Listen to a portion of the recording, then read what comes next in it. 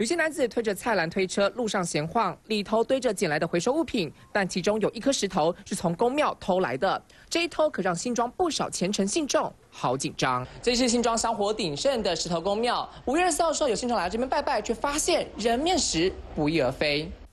被偷走的这颗石头人面石，最早是农村房舍的地基石。民国五十年格勒里台风后出土，这颗石头没有经过人为雕琢，看起来就像是一张人脸，有眼睛、鼻子、嘴巴，因此被称为人面石。着急啊，大家都很着急，要叫委员来一起找啊。这颗人面石，当地民众说有求必应，而且相传当年有人对他不敬，吃了不少苦头。啊，捡到起来看到他的时候，他觉得怪怪的，像个脸呐。啊！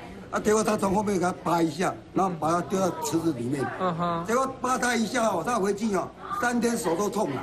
当地长辈说起石头公都有说不完的故事，但石头被偷走了，庙方报案，也有网友抛文协寻。平常都包起来，啊，放在那个篮子里面。啊，我在那天去买早餐，说，哎，这个好像有一个庙在找呢。他放在汽车上在晒晒太阳嘛。啊，就是他在找。我说，哎。